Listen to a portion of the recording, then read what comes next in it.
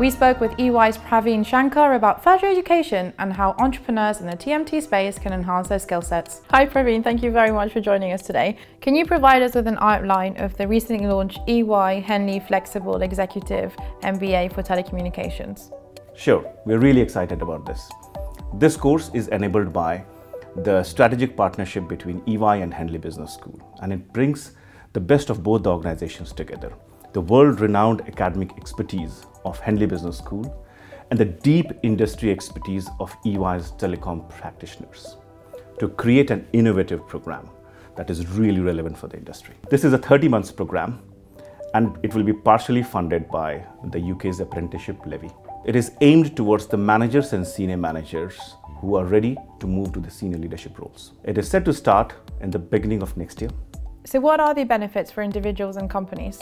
For the individuals, this, is, this will be a big catalyst to enhance their career through the learning of the full breadth of the MBA and the depth of the telecom industry. Secondly, it will help them build network mm-hmm. because they, they can build network with their peers who will be the who will be the participants and from the industry leaders who will be the speakers in the course. Plus, they can tap into the overall alumni network of the Henley Business School. How will the MBA shape the telecom industry as a whole? Telecom industry is rapidly changing and in fact every six months, whenever I look at the telecom industry, it has completely changed. It is a highly regulated industry, the customers and the demands are changing rapidly and it is massively disrupted by digital. What the industry needs right now is more specialist skills. It needs more people who understand the entire industry landscape. It also needs a platform to, for the companies to collaborate outside of the typical work, work environment, and this MBA is going to provide that.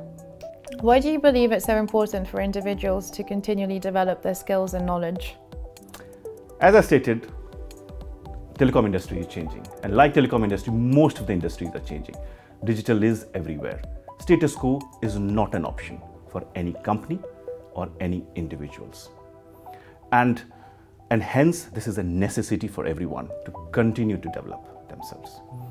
Apart from that, this continuous learning and development is exciting, it's inspiring, it challenges the mind to think more broadly, for think of different ways to find solutions and create a better working world.